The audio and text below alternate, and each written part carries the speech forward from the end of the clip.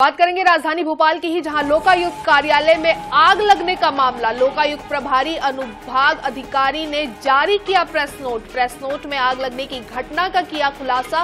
अनुपयोगी सामग्री में आग लगने की दी जानकारी। दस्तावेज़, शासकीय रिकॉर्ड सुरक्षित होने की कही बात। नेता प्रतिपक्ष ने घटना पर सरकार पर साधा था निशाना। तो दस्तावेज़, शासकीय रिकॉर्ड सुरक्षित कही बात की गई है। नेता प्रतिपक्ष ने घटना पर सरकार पर निशाना साधा था। लोकायुक्त कार्यालय में आग लगने का ये पूरा मामला है। लोकायुक्त प्रभारी ने प्रेस नोट जारी किया है। प्रदीप तलरेजा लगातार हमारे साथ बने हुए प्रदीप, आपसे जानना चाहेंगे, जिस तरीके से वो आग लगी थी, उसके बाद आरोप भी लगाए गए थे कि कई अहम दस्तावेज़ इस आग में जलकर राख हो गए हैं। अब उसके बाद अब ये प्रेस नोट जारी हुआ सबसे पहले तो आपसे ये जानना चाहेंगे कि प्रेस नोट में क्या कुछ लिखा हुआ है।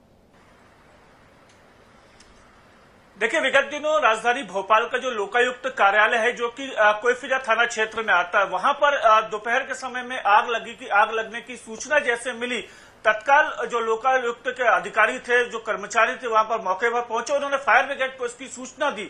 साथ साथ संबंधित थाना क्षेत्र को भी उन्होंने इस बात की सूचना दी थी कि ऐसी आगजनी की घटना घटी है। देखिए, हालाँकि बहुत जल्द ही इस आग पर काबू पा लिया गया था। देखिए, एक प्रेस नोट जो जारी किया गया जो लोकायुक्त लोकायुक्त विभाग की तरफ़ से, उसमें इस बात को स्पष्ट किया गया कि जो गैलरी के आसपास जो कबाड़ पड़ा था, जो जो सामग्री उपयोग की नहीं थी, उसमें अचानक आग लग जाती है। देखिए, गर्मी का समय है और साथ साथ जो आगजनी की घटना हुई, इसके बाद उस आग पर काबू पाया गया। लेकिन जो ऑफ़िस के अंदर जो शासकीय रिकॉर्ड था और जो शासकीय रिकॉर्ड के साथ साथ जो फाइलें थी, वो कहीं ना कहीं सुरक्षित हैं। वो इस प्रेस नोट के माध्यम से कही गई हैं। लेकिन देखिए तमाम प्रकार के आरोप प्रत्यारोप भी आगजनी के बाद कहीं ना कहीं देखने में आए थे। जी। तो बिल्कुल, आरोप प्रत्यारोप देखने को मिला ही था। अब उसके बाद प्रेस नोट जारी करके उस मामले में बड़ा बयान, बड़ा लिखित बयान इन्होंने दिया है। तमाम जानकारी के लिए प्रदीप बहुत बहुत शुक्रिया।